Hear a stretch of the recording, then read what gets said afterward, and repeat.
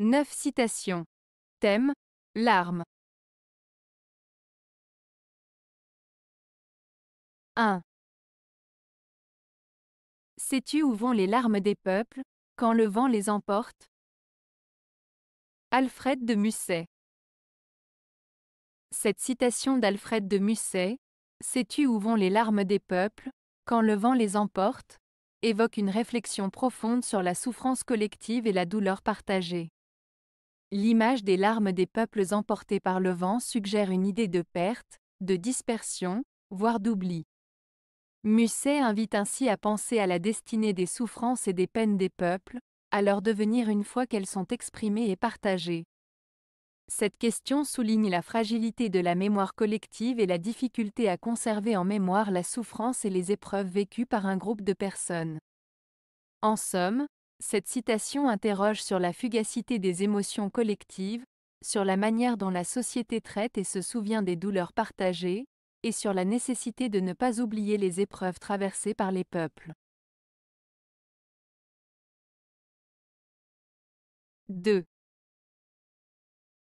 Les larmes entretiennent les plaies, elles ne les cicatrisent pas. Alphonse Daudet Cette citation d'Alphonse Daudet signifie que pleurer et exprimer ses émotions peut aider à soulager la douleur émotionnelle, mais cela ne suffit pas pour guérir complètement les blessures profondes. En d'autres termes, il est important de laisser sortir ses émotions et de pleurer pour se sentir mieux, mais cela ne résout pas nécessairement les problèmes à long terme. Il est également important de travailler sur la guérison intérieure et sur la résolution des causes profondes des douleurs émotionnelles pour vraiment cicatriser les blessures. 3. Quiconque a connu la vie, ou tout en apparence, n'est que solitude et dénuement, pleure. Antoine de Saint-Exupéry Cette citation d'Antoine de Saint-Exupéry exprime le sentiment de tristesse et de mélancolie ressenti par une personne qui a véritablement vécu et expérimenté la vie. L'auteur souligne que malgré les apparences de la vie, qui peuvent sembler riches et pleines, la réalité est souvent marquée par la solitude et le dénuement. Ainsi, celui qui a réellement connu les différentes facettes de l'existence, avec ses moments de solitude et de manque, ressentira inévitablement de la tristesse.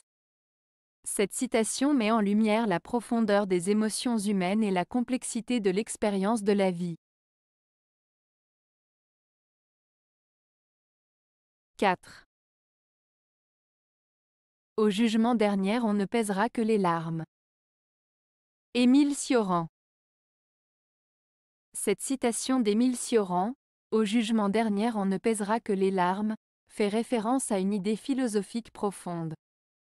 En substance, Cioran suggère que lors du jugement dernier, c'est-à-dire au moment de la fin ultime de l'humanité selon certaines croyances religieuses, ce qui sera réellement important et significatif, c'est la quantité de souffrance et de douleur que nous avons endurée, symbolisée par les larmes que nous avons versées. Sioran met donc en avant l'idée que les expériences de tristesse, de douleur et de souffrance que nous traversons dans nos vies auront une importance particulière au moment du jugement dernier, et que c'est sur la base de ces épreuves émotionnelles que nous serons jugés.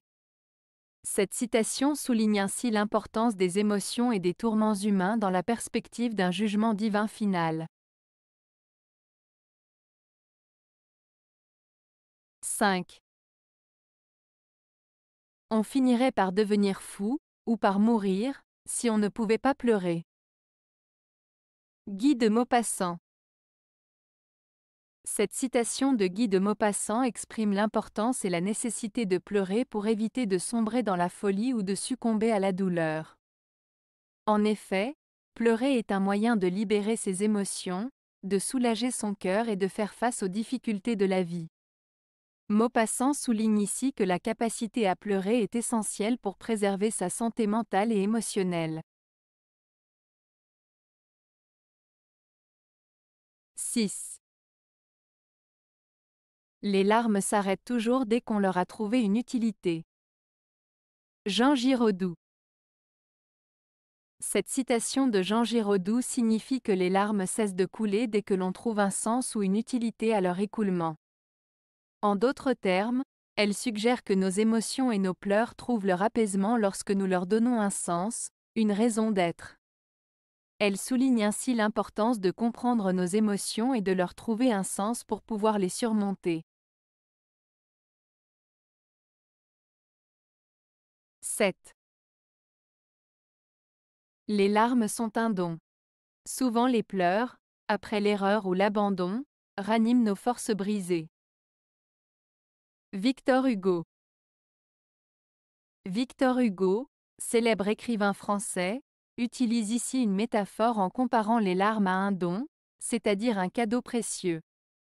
Il suggère que pleurer peut être bénéfique, car souvent après avoir commis une erreur ou avoir été abandonné, les pleurs nous permettent de retrouver notre force intérieure affaiblie. En d'autres termes, les larmes peuvent être un moyen de guérison émotionnelle et de renouvellement de nos ressources psychologiques. 8. Les larmes, c'est comme une rosée qui empêche le cœur de faner, une rosée qui l'aide à refleurir comme avant. Robert Choquette Cette citation de Robert Choquette compare les larmes à la rosée. Les larmes sont souvent associées à la tristesse et à la douleur. Selon l'auteur, les larmes ont un effet similaire à celui de la rosée sur une plante. Elles empêchent le cœur, l'âme, de se flétrir ou de se dessécher. Les larmes permettent donc au cœur de garder sa vitalité et de retrouver sa capacité à s'épanouir, à revivre des moments de bonheur passés. En somme, les larmes sont perçues comme un moyen de guérison émotionnelle, permettant de surmonter les épreuves et de retrouver la force de continuer à avancer. 9. Les hommes sont comme les femmes, il leur arrive de pleurer, mais seulement lorsqu'ils essayent de monter un meuble en kit. Rita Rudner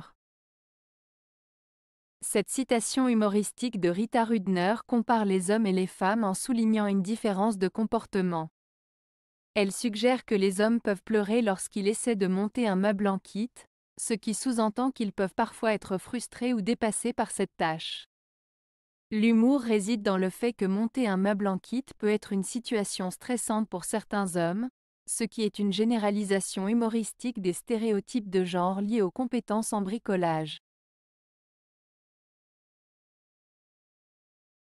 Avez-vous aimé la vidéo? Si oui, mettez un pouce vers le haut. Cela aidera la chaîne et aidera les autres à la trouver. Nous ajoutons plusieurs nouvelles vidéos quotidiennement. Abonnez-vous pour ne rien manquer.